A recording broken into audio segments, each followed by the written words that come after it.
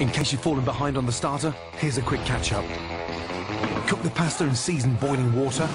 Pour oil into a hot pan. Add sliced garlic, chili, and chopped spring onion. Saute and season. Add white wine and reduce. Squeeze in lime juice, sprinkle in the crab meat, and stir. Drain the pasta, add a drizzle of olive oil, and season. Then add the pasta to the crab, sprinkle with chopped parsley, and toss.